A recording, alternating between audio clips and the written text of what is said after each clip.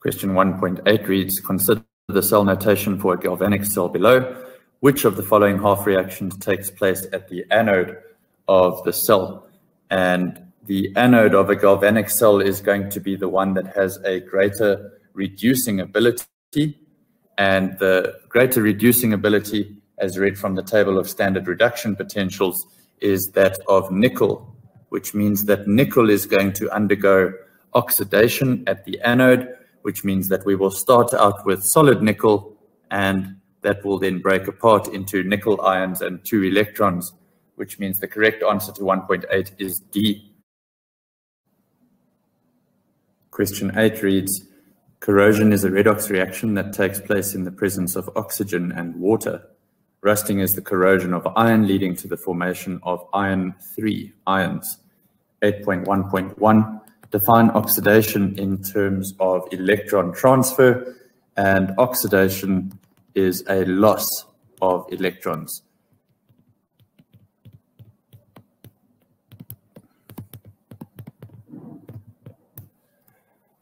A cleaned copper rod and a cleaned iron nail are placed in a beaker containing water at 25 degrees Celsius. After a while, it is observed that the iron nail was coated with rust, the copper rod showed no visible signs of corrosion. Question 8.1.2 asks, write down the half reaction for the iron nail. And so they've told us here that the iron nail goes through corrosion, which means that the iron is being oxidized.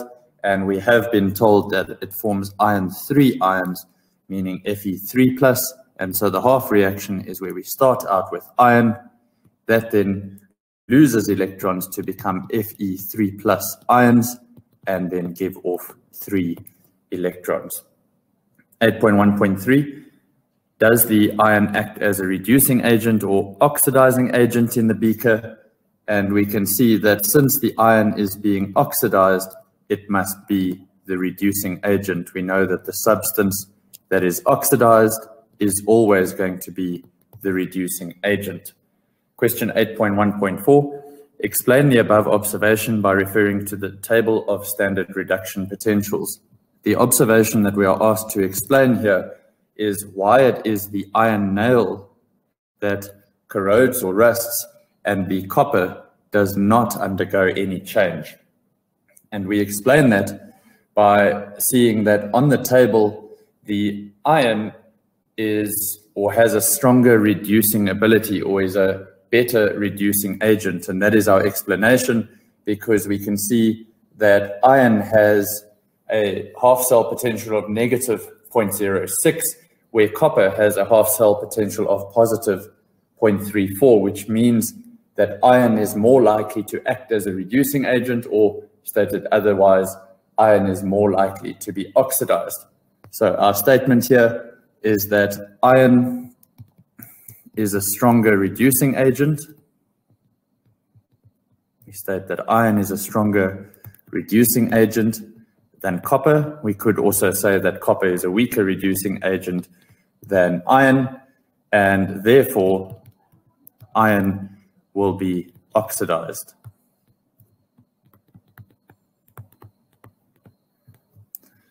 Question 8.1.5, to prevent the rusting of an underground pipe.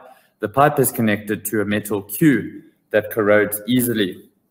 You are given two metals, zinc and copper, to use as metal Q. Which metal would be more suitable? So we already know that when given the choice between iron and copper, it is going to be the iron that corrodes, which means that copper is not a suitable choice for metal Q because it would mean that the iron would still corrode first. And so what we do is we see or we find zinc on our table of standard reduction potentials, and we can see that zinc has a half cell potential of negative 0.76, which means that it is it has an even greater reducing ability than iron, or stated otherwise, it is even more easily oxidized than iron. So our choice here is that we say that that should be zinc, and the reason for that is because it has a stronger, or it is a stronger reducing agent.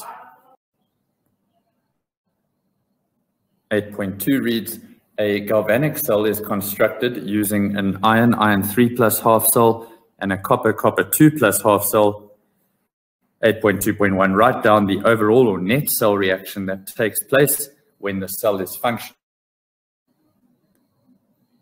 Now, the first thing to take note of here is that we have been told that this is a galvanic cell, which means that this reaction must occur spontaneously.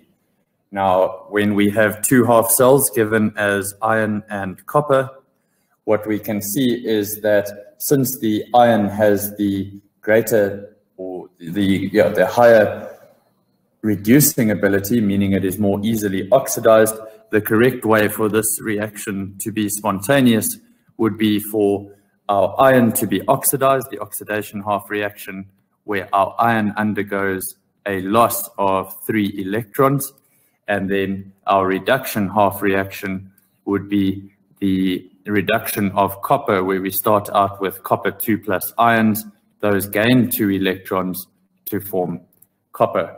So the net cell reaction would be the combination of these two half reactions. Important to see here that at this point, the number of electrons is not balanced because iron is giving off three electrons, copper only requires two electrons. And so we balance this by multiplying the entire half reaction for iron by two and the entire half reaction for copper by three. That way, there are six electrons being given off by iron and six electrons being taken in by copper. And what that leaves us with is a half reaction that says that we have three copper 2 plus ions that react with two iron atoms to form three copper atoms and two iron 3 plus ions. 8.2.2 asks us to calculate the cell potential of this cell under standard conditions and we start with the formula as it is given to us in the formula sheet, and that is for the cell under standard conditions, it is equal to the cell potential of the reduction half cell minus the half cell potential of our oxidation half cell. What we can see by looking at our table of standard reduction potentials our reduction half reaction is copper, which has a cell potential of negative 0.34, and our cell potential for our oxidation half reaction is that of iron, which is negative 0.06, which means that the cell potential for this half cell at standard conditions is 0.40 volts. Marks are awarded according to the marking guidelines, where 8.1.1, we very simply get two marks for knowing that oxidation is a loss of electrons. 8.1.2, the half cell reaction for the iron nail, there is one mark for correctly showing that it is iron 3 plus and 3 electrons. Interesting to note that it cannot be written as a reversible reaction because in this case, it is only the oxidation of iron that is possible. And there would be a mark lost if that was written as a reversible reaction. 8.1.3, we get a single mark for stating that it is a reducing agent because it is oxidized. And 8.1.4, explained by referring to the table of standard reduction potentials. One mark for saying that iron is a stronger reducing agent than copper, and therefore iron is being oxidized. Similar at 8.1.5, one mark for identifying zinc as the correct metal, and that is because it is a stronger reducing agent than iron. 8.2.1, there were marks allocated for the balancing of this equation and then marks for getting all of the reactants correct. So copper 2 plus ions react with iron to form copper atoms and iron ions, and then one mark for balancing that correctly. And the easiest way to do that was by looking at our number of electrons in each half cell. 8.2.2, there was one mark for writing the formula exactly as it is given in the formula sheet. There's then a mark allocated for identifying the cell potential for each half cell and one mark for the final answer with the correct units.